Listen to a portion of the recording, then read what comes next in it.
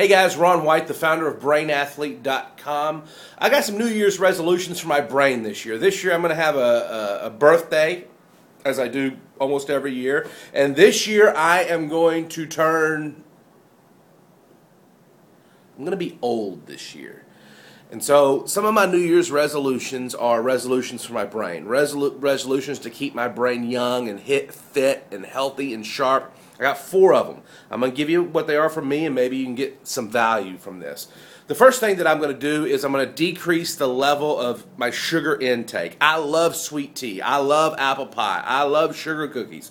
However, sugar has a negative uh, impact on your brain in the short term and in the long term.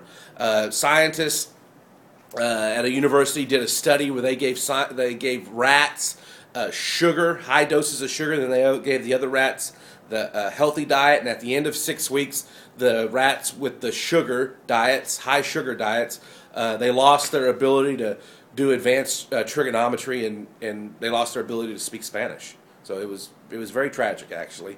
Um, I'm going to decrease the amount of sugar that I intake, uh, but I will not give up sweet tea.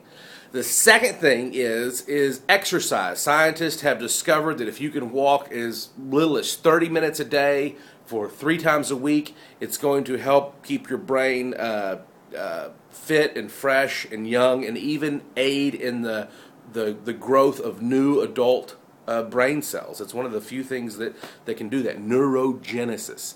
Uh, the next thing that I'm going to do is I got to be honest with you. I have a hard time sleeping sometimes. I like I like working really late, and then when I and then when I finally get done working, I'm like I got to go to bed right now. So then I pop some Tylenol PM or sleeping pills, and that is terrible for your memory. It's terrible in the short term, and it has long term negative effects as well. So I'm going to decrease the amount of sugar. I'm going to exercise more. I'm to cut out the sleeping pills, and those are all three things that I really don't want to do and like to do because I get I I don't enjoy exercising. I haven't exercised since uh, 1982, and I love sugar. So I have made one resolution that's going to be fun for me and that I'm going to enjoy, and that is to eat more curry.